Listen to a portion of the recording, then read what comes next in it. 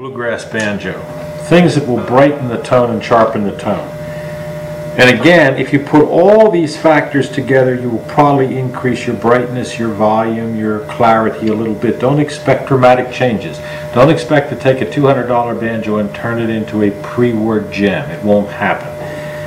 So one thing obviously is your head needs to be fairly tight. So you can try tightening your head a little bit more than you normally would have it. It should brighten your tone a little bit. If you go too tight with the head, you will lose what you gained, or you run the risk of separating the flesh hoop from the head itself. Speaking of heads, if you have a skin head and you change to a plastic head or a mylar head, it's obviously going to get quite brighter. So if that change is in order, you can make that change.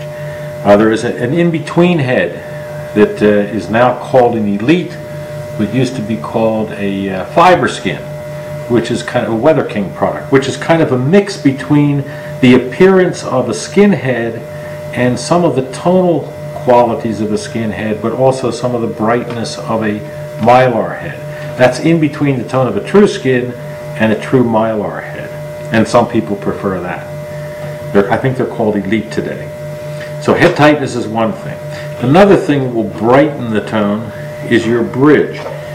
If the bridge is a little higher, if you make your uh, buy another bridge that's slightly higher, but if you do that, you're going to change the action, which means you may have to change the neck angle and all that. That will tend to brighten your tone somewhat. And also the thickness of the bridge. As they're made in production, they're a little thicker than most people prefer. So if you take the thickness of the bridge, allowing for the taper, and thin it down somewhat, that will brighten your tone a little bit. Now, you can always push the envelope too far in any of these things I'm going to tell you. You can make your head too tight, you'll lose what you gain.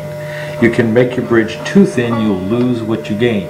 Common sense must be employed. Another thing that will brighten your tone is if you have a tailpiece where you can adjust that angle, get the tailpiece to put more pressure on the strings, making a better contact with the feet of the bridge onto the head. So you can inertia the tailpiece down a little bit more. That will tend to brighten the tone. Um, string gauge. A medium gauge string will not give you as bright a tone as a thin gauge or a light gauge string will. Lights will usually give you that brighter tone. But when you put a medium string on, if you've had a light string on, it's going to change your action. So you may have to adjust your action when you go from light to medium. That has to do with the tension of the string.